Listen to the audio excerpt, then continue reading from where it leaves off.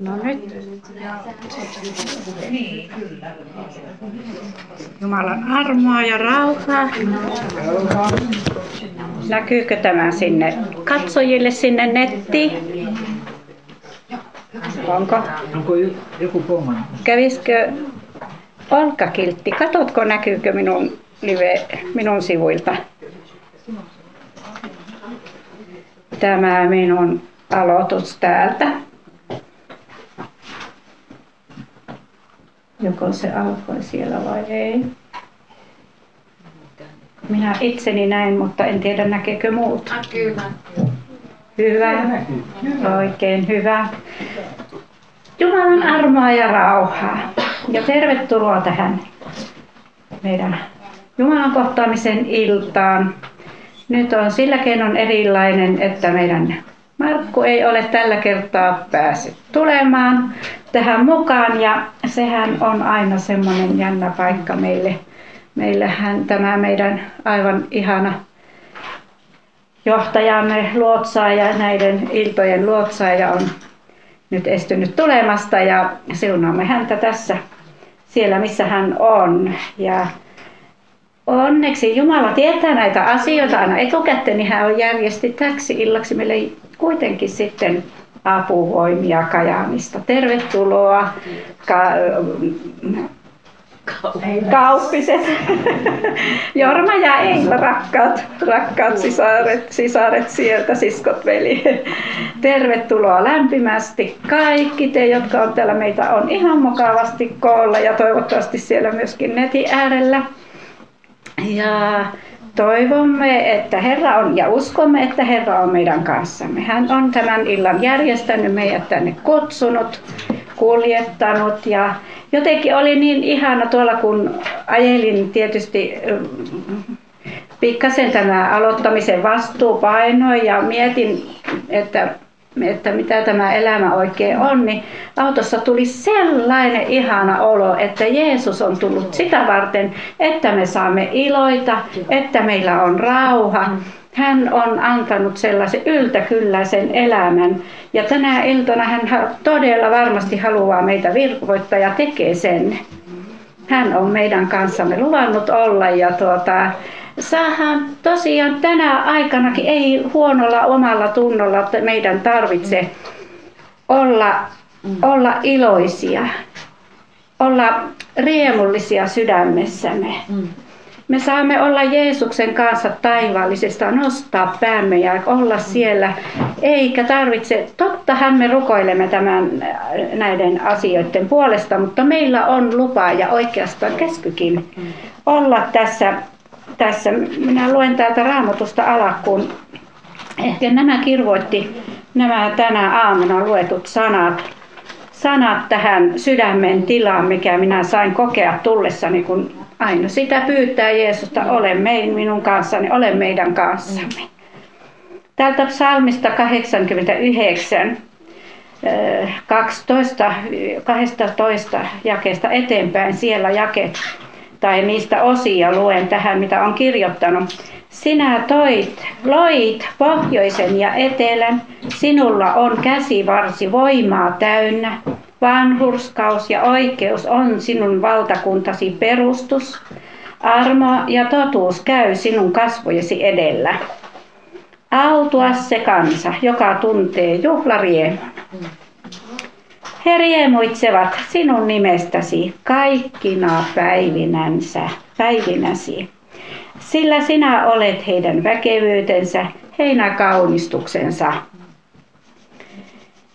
Ja 21. Ja minä olen löytänyt Daavidin palvelijani, olen voidellut hänet pyhällä öljylläni. Minun käteeni on lujasti tukeva häntä, minun käsivarteni on häntä vahvistava. Hän kutsuu minua, sinä olet minun isäni, sinä minun Jumala, Jumalani ja pelastukseni kallio. Eli tänä iltana Jeesus siunatkoon jokaista puhujaa ja jokaista läsnäolijaa tällä öljyllä voitelulla. Antakoon hän niitä sanoja, mitä me tarvitsemme. Ja hän totisesti myös lupaa sen tehdä. Minä uskon näin.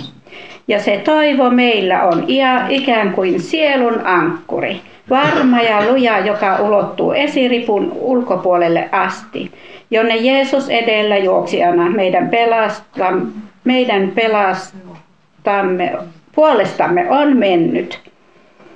Tultuaan ylimmäiseksi papiksi Melkisedeksi järjestyksen mukaan iankaikkisesti. Hän tänäkin iltana on siellä meidän puolestamme rukoilemassa ja on, mm. on todella mennyt sinne.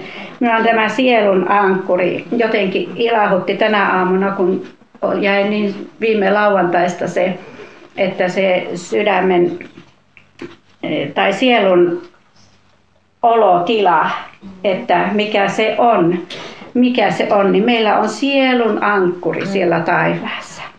Ajatelkaa, mikä valtava toivo ja, ja kun nämä taivaalliset ja hengelliset asiat varmempia ja iankaikkisia, se mikä meille täällä näkyy, se on kerran pois, mutta iankaikkiset kestää, Jumala kestää, hän on meidän kanssamme. Ja tuota, jopa niin pitkälle tänä aamuna luin hänen ja semmoista armahtavaisuuttaan, että mm, kun tässä sanotaan, että sinä olet isä, minun isäni, sinä minun Jumalani ja pelastukseni kallio, sitten jo 31 jakeessa hän sanoo, jos hänen poikansa hylkäävät minun lakini, eivätkä vain säädökseni rikkovat ja noudata minun käskyjäni, niin minä rankaisen vitsalla heidän rikoksensa ja heidän pahat tekonsa vitsauksilla – mutta armaani en minä ota häneltä pois. Enkä vilpisteli uskollisuudestani. En minä liit, liitto, liitti lähtenyt. Se hänen sanansa, hänen tekonsa on totinen tosi. Ja, ja tuota, vaikka minusta, vaikka sinusta tuntuu, että minä tai joku toinen on tehnyt jotakin lakia rikkonut, niin ajatelkaa, mikä armahtavat sanat tässäkin meille on. Hän ei armaansa meiltä ota pois, eikä vilpistele uskollisuudestansa. Me uskomme tänä iltana hänen näin meille ilmestyvän ja puhuvan yhä syvemmästi ja ehämmästi ja viisaasti. Herra, antakoon teille sen sanan, minkä hän meille haluaa jakaa. Jeesus rakas, kiitos siitä, että olet meidät lunastanut, pelastanut, ottanut omaksesi kansaksesi, rakkaaksesi, jonka haluat sinne kotiin. Kiitos, että tänä iltana johdata tätä kokousta. Olkoon se sinun pyhähenkesi johdatuksessa. Herra, auta meitä. Sinä olet meidän pää, vaikka todella tämä meidän luotsaajamme ei ole paikalla, niin sinä et silti meitä jätä. Sinä et ole meistä ihmisistä kiinni. Sinä teet sen, minkä sinä tahdot. Sinä sanasi annat ja sinä meitä virvoitat lupauksesi mukaan. Olemmehan sinun nimessäsi, tahdomme olla sinun nimessäsi Jeesus koolla.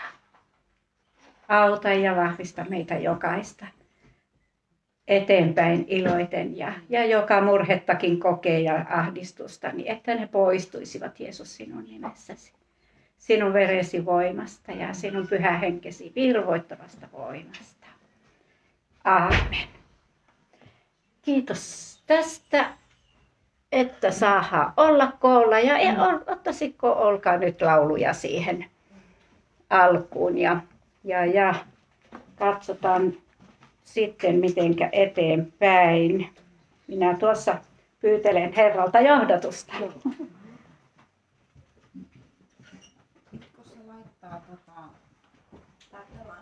Tota, apua siihen? Joo, tästä.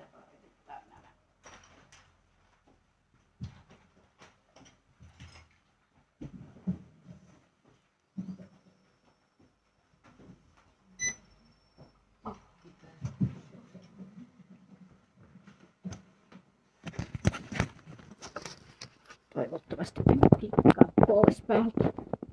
Tämä on tämä tekniikka aina mulle semmoinen öö, öö, jännityksen paikka. Noin, näkyykö se siellä? Hyvä, ainakin alkaa nyt tässä sanat näkymään pikkuhiljaa. se isommalle. Mm.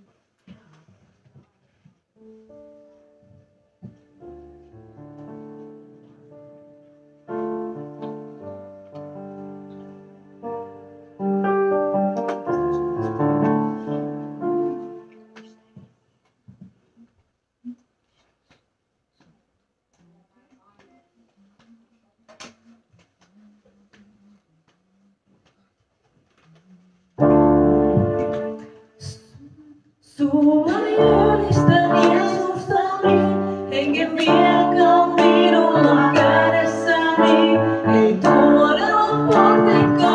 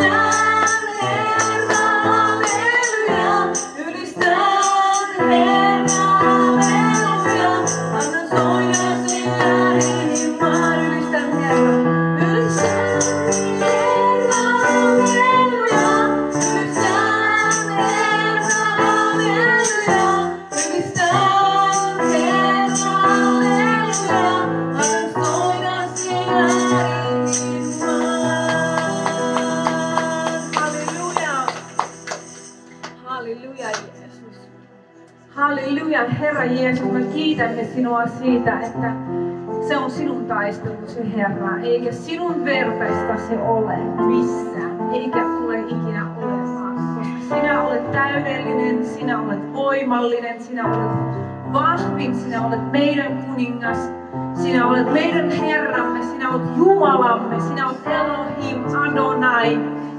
Halleluja, kiitämme ja ylistämme sinua. Halleluja.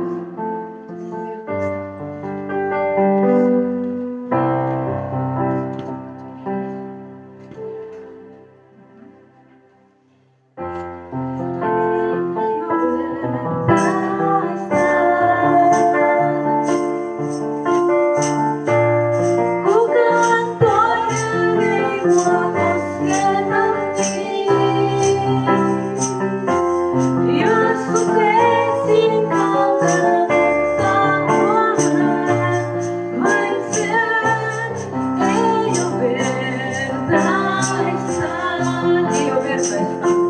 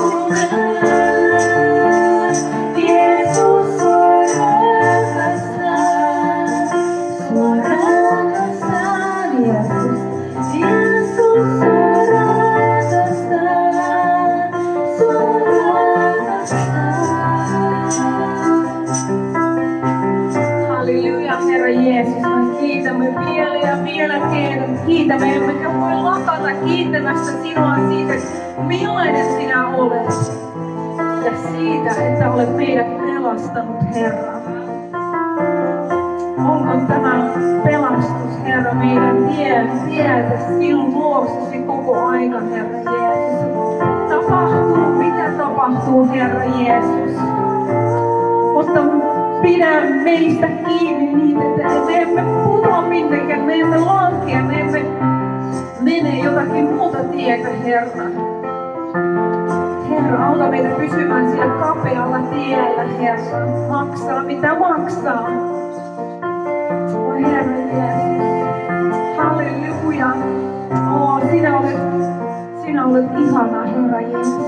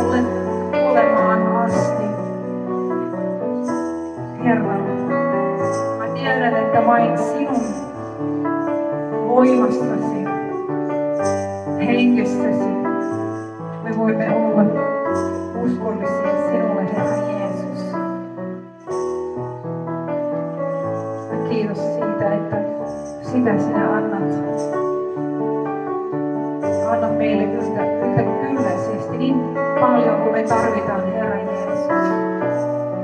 Ja kiitos, että sinä olet aina meidän kanssamme lupauksesi mukaan. Kiitämme näet, mitä meidän sydämissä on, Herra.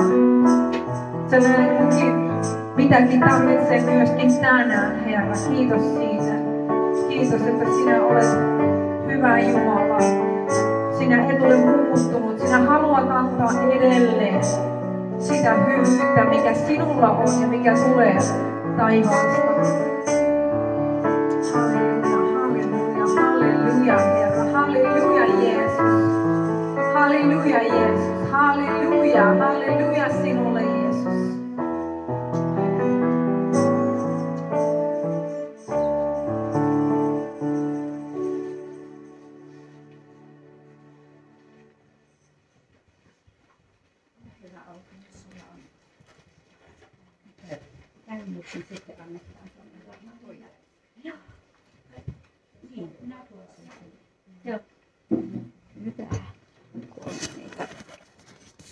Yhdessä tästä hyvää tullenee.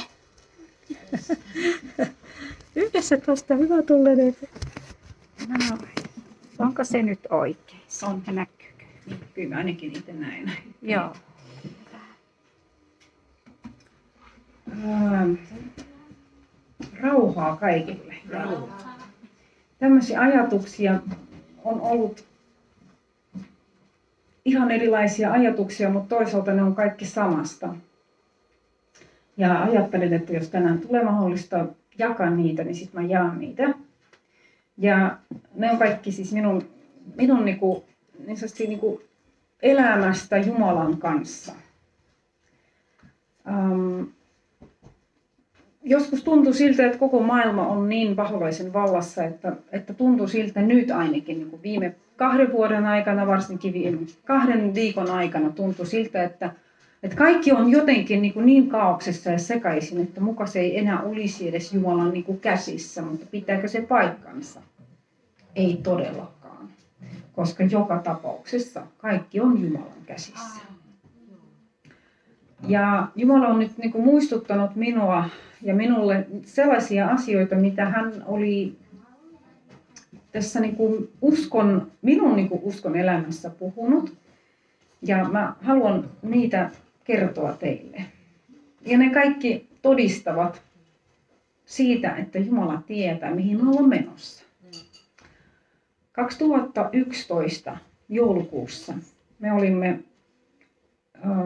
Mission nuorten koulussa, siis henkilökunnassa niin tekemässä työtä siellä lähellä Kouvolaa, Perheniemessä ja semmoisessa niin kuin, no, koulussa oltiin. Ja siinä oli kerran rukouskokous. Ähm, ja siinä rukouskokouksessa, siis tämä on hyvin tyypillistä semmoisille niin vaimimilaisille, eli missionuorilaisille, niin kuin rukoilla siis maailman tilanteista ja myöskin maista. Ja siinä rukouksessa me rukoiltiin Venäjän puolesta muun muassa, siis minun ryhmässä. Ja minä rukoilin Venäjän puolesta, koska mä oon Venäjän, Venäjältä niin kuin syntyisin.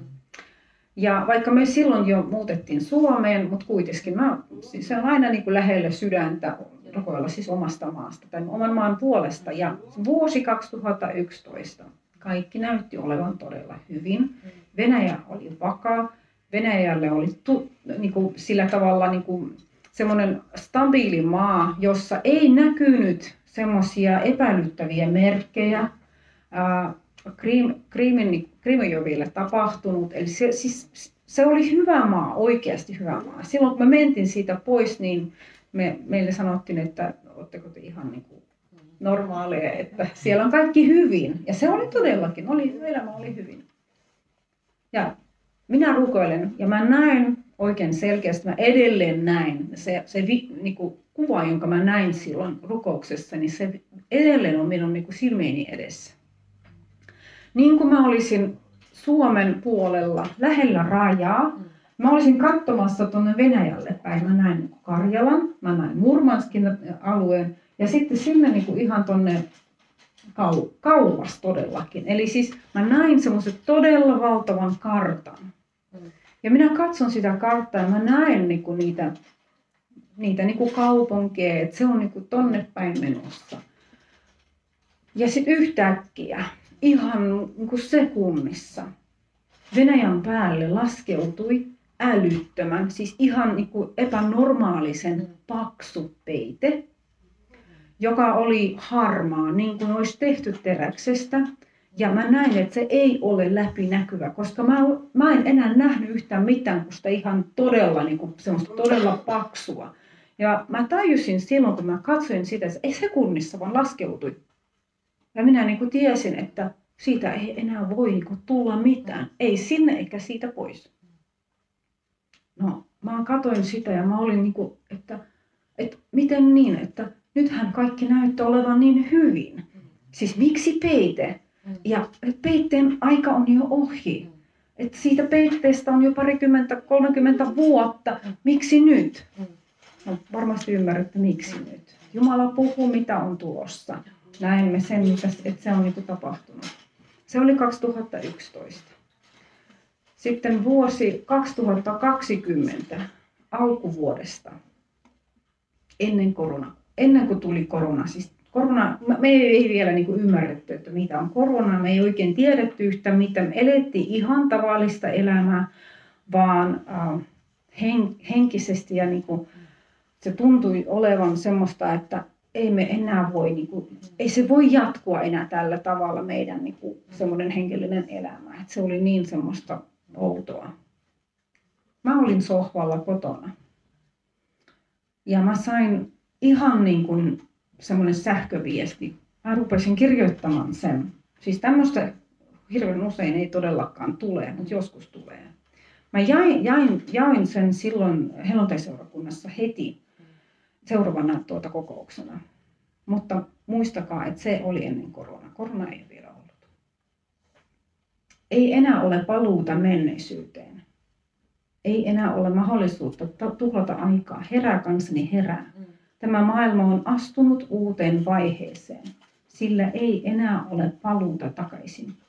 Aikakello on jo asetettu ja sekuntiviisari lyö eteenpäin, jolloin tulee minun päiväni. Ne, jotka jäävät nukkumaan, jäävät ilman minua. On korkea aika herätä ja korjeilla lampuja. Ei ole enää aika lykätä syntien korjaamista myöhemmälle ajalle. Kaikki salassa oleva paljastuu, jotta kansani puhdistuu. Sekin nähdään, että se on niin kuin, silleen toteutunut. Me ollaan todellakin toisessa maailmassa nyt. Tuskin palataan semmoisen vanhan aikaan. Että aika on todellakin muuttunut, yhteiskunta on muuttunut, asenteet ovat niin paljon muuttuneita, että niitä ei enää voi korjailla niin kuin tällä tavalla vanhoiksi. Ja sitten vuosi sitten maaliskuun loppuun mä olin rukoilemassa kotona ja mä näin ihan rukouksessani yhtäkkiä myöskin kuvan. Niitä kuvia ihan niin kuin vaan yhden sormen, niin kuin, mutta ne on kaikki sellaisia, siis mun elämän aikana en ole nähnyt ihan hirveästi kuvia, mutta nämä on niin semmoisia, jos Jumala näyttää, niin sitten ne, niin kuin, ne on, pysyvät oikeasti muistissa tosi hyvin. Mä näin niin kuin, niin kuin pilvistä olisi tullut, olisi tullut ähm, hevonen, semmoinen ruskea tämmöinen niin kuin, tämän tyyppinen. Ja sitten sen hevosen selässä oli, oli ratsastaja ja sen kädessä oli miekka. Ja sitten sen perään tuli sana ilmestyskirja 6, 4. Että jos joku nopeasti löytää, niin sitten lukekaa se, mutta se kertoo siitä, että rauha otetaan pois maasta tai maailmasta. No silloin minä ajattelen, että no ei, sota, ei voi tulla sota, ei, ei ole mahdollista. Me on, meillä on niinku koronavirus, meidän sen kanssa pitäisi jotenkin niinku taistella ja, sit, ja sitten tuota, nyt me ollaan niinku vielä kaiken lisäksi tätäkin nähty. Mutta mikä on tässä lohduttavaa, todellakin lohduttavaa, on se, että ensinnäkin Jumala tietää, mitä on tulossa ja aina puhuu ennen. Hän kertoo, että tulossa tämä ja tulossa tämä ja tulossa tämä. Ja se tarkoittaa sitä, että hän on tietoinen. Kaikki on hänen käsissä ja hallinnassa. Meidän ei tarvitse olla niin paljon niin kuin huolissamme siitä, että mitäs nyt niin kuin maailmassa tapahtuu. Että mä, me ei niin kuin kestetä mukaan. Sitten kyllä me kestetään hänen voimallaan. Hänen voimallaan. Mutta sitten vielä yksi semmoinen oikein lohduttava, semmoinen todellakin lohduttava kirja, jonka mä tänään sain äh, Vinnitsasta. Ja se on tuota, Ukrainassa. Kirjoittaa nainen, hänellä on kuusi lasta. Ja silloin kun hän kirjoittaa, niin okei, okay, se on palautunut. Ja just niin kuin halusivat niin kuin toteuttaa siinä, missä niitä, niitä niin kuin tarvittiin. Ja ne tiesivät, että siinä on niin paljon ihmisiä, jotka eivät pysty kokemaan. Joillakin ei ole rahaa, joillakin ei ole autoa, joillakin on lapset, jotka tarvitsivat koko ajan hoitoa ja niiden kanssa olisi ollut ja nytkin odotettiin Herran suosion vuotta. Mutta me ajateltiin, että se tulee toisella tavalla. Mm. Mutta nyt Ukrainan aika Herran suosion vuodessa. Ukraina elää Herran suosio sitä. Ne elävät sitä Herran suosion vuotta. Miksi? Koska ne ottavat vastaan ihmisiä, jotka pakenevat muualta. Ne ruokkivat niitä.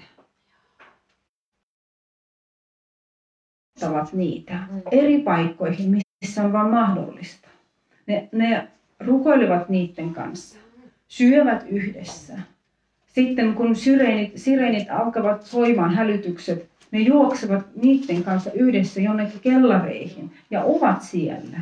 Kun Kirjoittavat, että ja ne, silloin kun ne saattavat ne pois niin kuin, turvallisempaan paikkaan, ne kirjoittavat, että kiitos teille. Ja nyt se on, se on siis todellakin sitä suosiota. Vaikka ne, silloin kun mä lauloin viimeisen laulun, siis oli niin semmoinen vahva tunne, että se mitä me laulamme, se mitä me sanomme, hekin tekivät samoja asioita.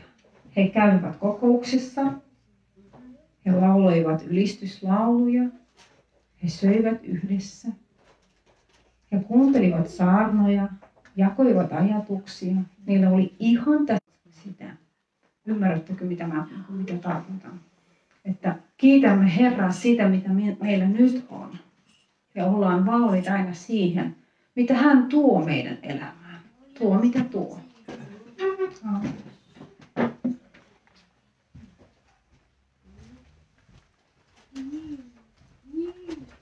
Ja tuossa tuli mieleen Jumalan sana Olkan puheesta, että Jeremia 45.5. Siellä oli myöskin tämä profeetta sanonut huonoja asioita kansalle ja ne rupesi toteuttamaan, kun eivät kääntyneet Jumalan puoleen. Ja oli kirjuri, joka myöskin joutui huonoon maineeseen sitten, kun hän kirjoitti näitä profetioita. Ja, ja tuo, tässä on nyt jotakin, no niin, nyt taas näkyy. Jeremia 45.5. Sinä pyydät itsellesi suuria, Jumala sanoo siis Paarukille näin. Älä pyydä, sillä katso minä tuotan onnettomuuden kaikelle lihalle, sanoo Herra. Mutta sinulle minä annan henkesi saaliiksi, mihin paikkaan sinä menetkin. Että kyllä on Jumalan luona hyvä, hyvä olla ja hänen tahtoansa toteuttaa ja, ja turva on kaikkina aikoina hänessä. Ja nytpä me jannemme sitten Eilalle ja Jormalle. Tästä eteenpäin saatte, saatte te, tehdä katsottavaa mennä, mutta olkaa hyvät rakkaat vierailijat.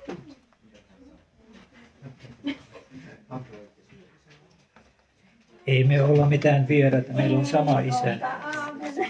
Sama.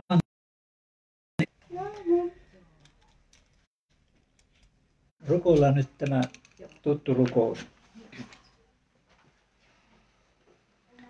Isämme, joka olet taivaassa, me kunnioitamme pyhää nimeäsi. Anna valtakuntasi tulla pian. Tapahtukoon sinun tahtosi valkeaksi kuin puhdas villa. Jeesus sanoo ystäväni, ole rohkealla mielellä, sinun syntisi annetaan anteeksi. Jumalan palvelijana minä julistan sinulle tämän synninpäästön isän, pojan ja pyhän hengen nimeen. Amen. Ja nyt haluamme laulun. Ennen kuin tyttöystävä tai vaimohan se nyt onko 51 vuotta ollut naimissa, tulee puhumaan.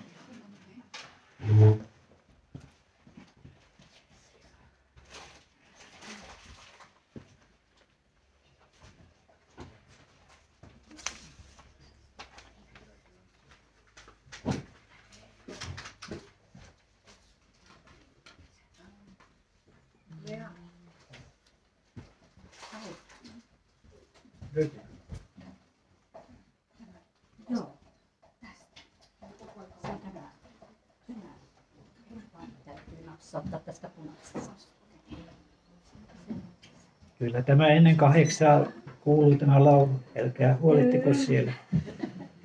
Amerikassa asti kuuntelevat tätä. Kohta kuuluu.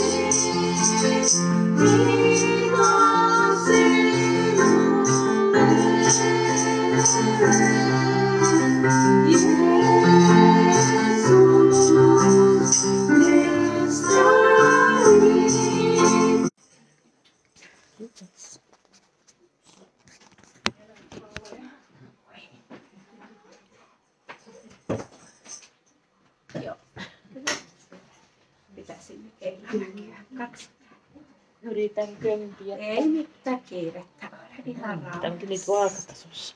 Joo, se on pyydetty niin. On kuulemma Joo. kirkonkylässäkin katsoa.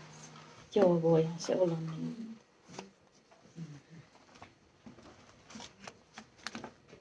A.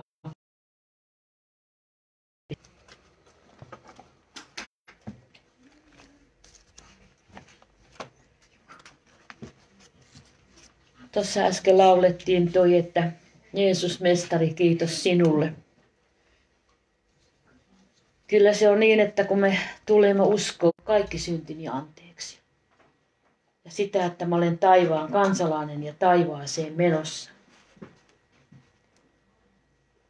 Jumala on rauhan Jumala ja Jumala haluaisi tehdä ihmiskunnan kanssa rauhan.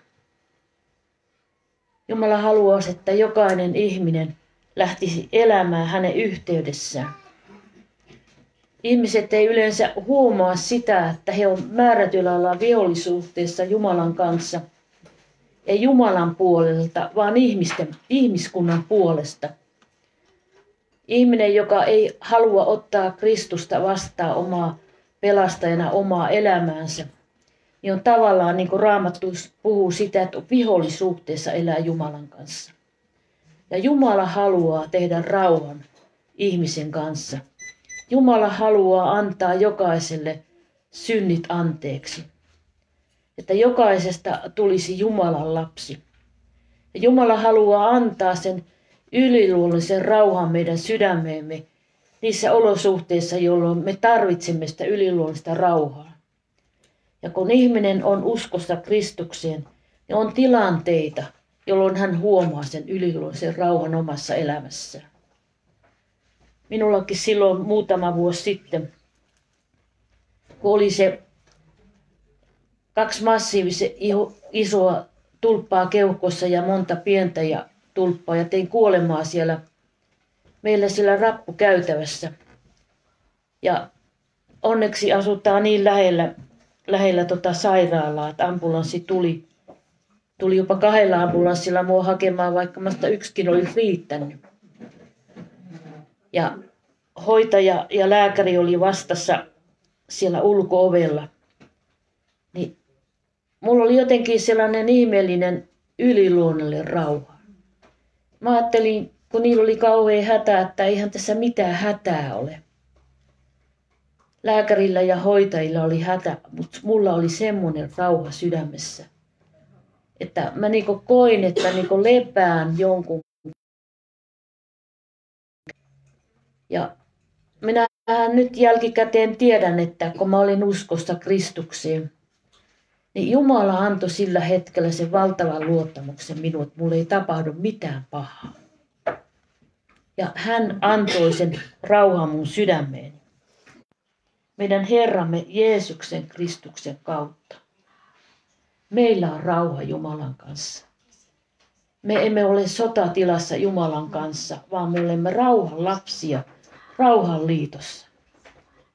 Me saamme, saamme kokea sitä rauhaa ja me saamme kokea sitä, varsinkin Jumalan, Jumalan puolelta sitä yliluonnosta rauhaa. Hänen kauttaan me olemme päässeet uskossa tähän armoon, josta nyt olemme, ja meidän kerskauksemme on Jumalan kirkkauden toivo. Uskossa Kristukseen me olemme päässeet tähän rauhaan. Sitä, että me uskomme Jeesukseen, Kristukseen, hänen sovitustyöhönsä, hänen sovintovereensä ja sitä, että hän kuoli meidän edestämme ristillä ja me olemme ottaneet hänet omaa elämäämme. Me olemme päässeet siihen rauhaan ja siihen armoon. Siihen ihmeelliseen armoon, mitä Jumala meitä oso, meille osoitti pojassaan Jeesuksessa Kristuksessa. Syntien anteeksi antamukseen. Ja meidän, meidän Jumalan kirkkauden toivo. Raamatussa puhutaan monta kertaa kirkkauden valtakunnasta. Että Jumalan valtakunta on kirkkauden valtakunta. Me olemme menossa kirkkauden valtakuntaan. Ja me voimme jopa kerskata sitä, että me olemme kirkkauden valtakunta. Me menemme perille Jumalan valtakuntaan. Täällä roomalaiskirjeessä vielä puhutaan, että koska olimme vielä heikkoja, Kristus kuoli oikeaan aikaan jumalattomien puolesta. Tuskin kukaan on valmis kuolemaan puolesta, hyvän ihmisen puolesta. Joku kentäs uskaltaisi kuolla, mutta uskaltaisiko syntisten puolesta? Mm. Mutta Jumala osoitti rakkauttaan meitä kohtaan siinä, että Kristus kuoli meidän puolesta syntiä, vaikka me, me synnymme synnin alaisuuteen maailmaan. Mutta eräänä päivänä, kun me tulemme määrätyn ikäiseksi, me rupeamme kaikki te- tekemään syntiä. Mutta Kristus kuoli meidän puolestamme. Hän haluaa sitä armoa ja rakkautta osoittaa meille. Paljon ennemmin, siis nyt kun olemme vanhuskettuja hänen veressään, pelastumme hänen kauttansa pihasta. Jos me silloin, kun vielä olimme Jumalan vihollisia, tulimme sovitetuksi hänen kanssaan, hänen poikansa kuoleman kautta, paljon enemmän me pelastumme hänen elämänsä kautta, kun me olemme sovitettuja. Emme ainoastaan sovitettuja, vaan me jopa kerskaamme Jumalan, Jumalasta, Herrasta, Jeesuksesta, Kristuksen, Kristuksen kautta, jonka kautta olemme saaneet sovituksen. Kun me olimme, silloin kun me olimme vihollisissa suhteessa vielä Jumalan kanssa, tulimme sovitetuksi hänen poikansa kuoleman kautta. Me uskoimme Kristuksen kärsivän meidän edestä kolkatan kristillä. Me uskomme, että hän kuoli meidän kun me uskomme tähän, me tulimme sovitetuksi Jumalan, mutta, mutta hän nousi ylös haudasta. Niin kuin tässä puhutaan, hänen elämänsä kautta, kun olimme sovitettuja. Tähän sovitukseen, tähän ristillä, jos hän olisi, olisi vaan siellä hautaan jäänyt, niin ei olisi meillä pelastusta. Niin kuin tässä puhutaan, hänen elämänsä kautta. Hän nousi kuolleista ja hän elääkin tällä hetkellä Jumalan oikealla puolella. Me kerran keskustelin erään muslimin kanssa ja hän, hän sanoi siitä, että hän on lukenut aikanaan raamatusta, että Jeesus, ja he uskovat, niin tämä Muhammedtiin ja näihin, niin nehän on kuolleita. Eli silloin ihminen on aika lähellä pelastusta, kun hän rupeaa jo ymmärtämään se, että Jeesus on ylös noussut ja Jeesus elää ja Jeesus voi auttaa. Vain ylösnousut vapahtaja pystyy auttamaan tänäkin päivänä ihmiskuntaa. Ei, ei kuolleet, ei kuollut voi auttaa, kuollut on kuollut. Mutta Jeesus elää. Ja mikä ihaninta on, niin kuin tuossa laulettiin tuossa yhdessä laulussa, että tästä kun me olemme saaneet syntimme anteeksi. Niin täällä puhutaan korintolaskirjeessä. Siksi sitä puhutaan, että kun ihminen tulee uskoon, että hän uudesti syntyy ylhäältä. Hänestä tulee uusi luomus, aivan erilainen ihminen. Hän ei enää halua lähteä sinne entisille syntiretkille.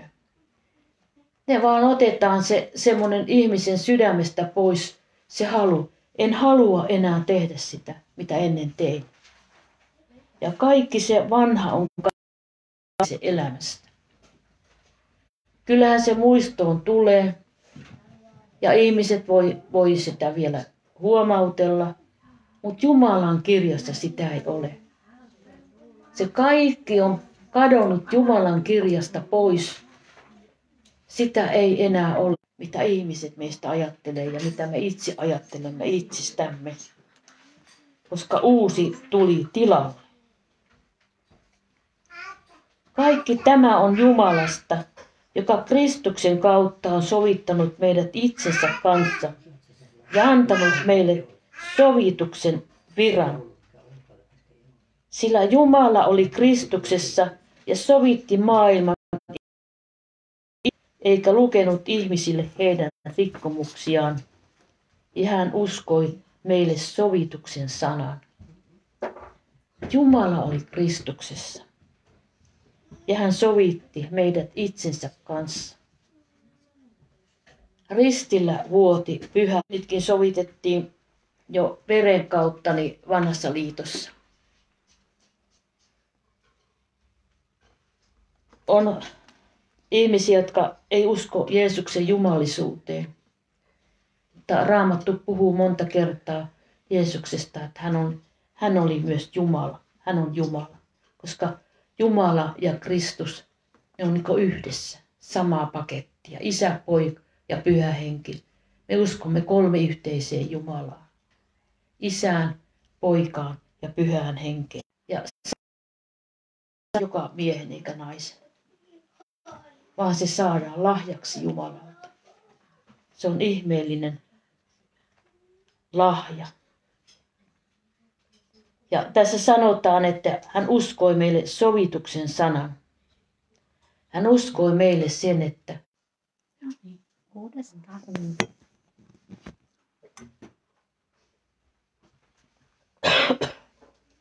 että Jumala uskoi meille sen sovituksen sanan. Hän luottanut niin paljon omiinsa, kun hän en- ensin antoi sen opetuslapsille. Mutta sitten hän on antanut meille jokaiselle hänen lapsilleen sovituksen sanan. Meille on uskottu valtava tehtävä. Ymmärrämmekö me aina, miten valtava tehtävä meille on uskottu sovituksen sana? Menkää kertomaan, minä olen ylösnoussut vapahtaja ja minä elän. Ja minä annan synnit anteeksi. Nyt se taas. Joo. Vähän pätkii tämä, olen pahoillani, mutta jospa tästä. Joo. Niin kuin tuossa sanoin, että Jumala on uskonut meille semmoisen valtavan tehtävän mennä kertomaan ihmisille Jeesuksesta. Kertomaan ihmisille, että jokaisella on mahdollisuus saada synti. Jokaisella on mahdollisuus lähteä elämään uutta elämää, aivan uutta elämää.